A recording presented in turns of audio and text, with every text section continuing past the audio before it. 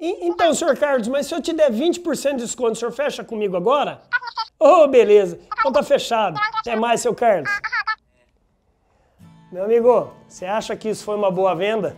Você tem esse probleminha aí dentro da sua empresa? Os seus vendedores só vendem com desconto? Será que dá para vender sem dar desconto? O que, que você acha, hein?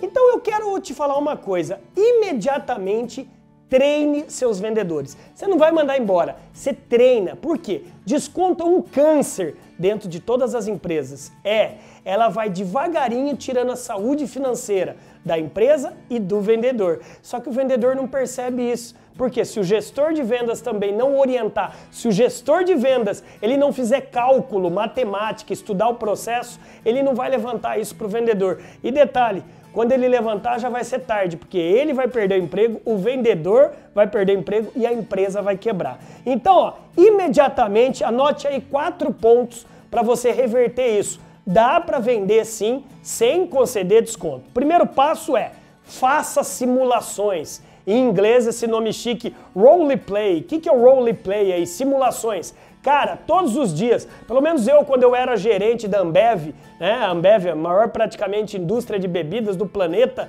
Eu fui gerente de marketing e vendas e eu aprendi uma coisa legal. Todos os dias, de manhã e à tarde, era simulação.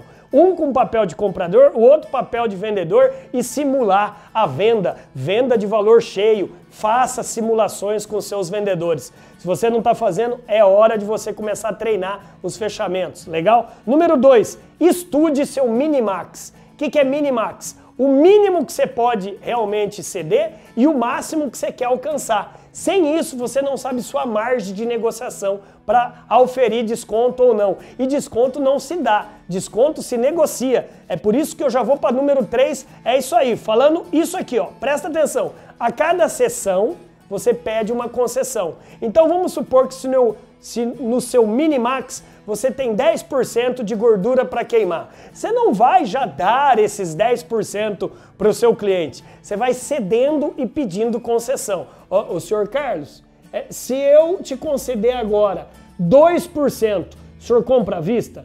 Ô senhor Carlos, se eu te conceder 5%, o senhor dobra o lote? O senhor dobra o pedido? Captou o que eu estou querendo dizer? A cada sessão da sua margem, peça algo em troca. Número 4, Treine técnicas de fechamento infinitamente. Substitua a cultura do desconto pela cultura do valor cheio. É, desconto é vício, desconto é hábito. No começo vai doer. Todo vício adquirido no começo vai te dar até uma dependência. Faça com que seu vendedor tenha mais argumento, mais técnica de fechamento. E nisso eu posso lhe ajudar. Nisso eu tenho ajudado há mais de 20 anos grandes, médias e pequenas empresas no Brasil e no exterior. Gostou dessas dicas? Gostou dessas técnicas? Se você é gestor de vendas, é diretor, se você é empresário, meu amigo, pega o seu joinha aqui e ajude aqui o André também. Mande seu joinha, comente, compartilhe e aperte também aí o sininho para você ser notificado. Ops, espera um pouquinho, tá tocando aqui.